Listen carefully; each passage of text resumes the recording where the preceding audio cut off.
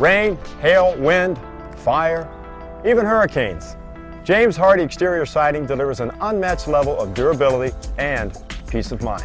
James Hardie is a revolutionary siding product that combines the warmth and character of wood with the strength of brick, while offering a multitude of design options not available with any other siding product.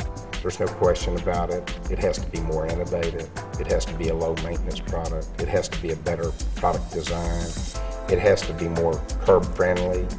It's got to have the appearance over the lifetime, the longevity of that product. We feel like Hardie Plank allows that. It's low maintenance. It doesn't deteriorate like the woods. The bricks are more restricted as far as applications of use. What we're experiencing is the buyers are looking for a home to live in, not a house. And I think that's the greatest thing about Hardie Plank.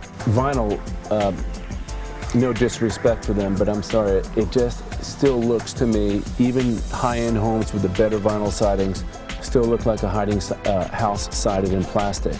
I can pick them out a mile away. My wife, who's not an architect, notices that stuff. I know people notice it.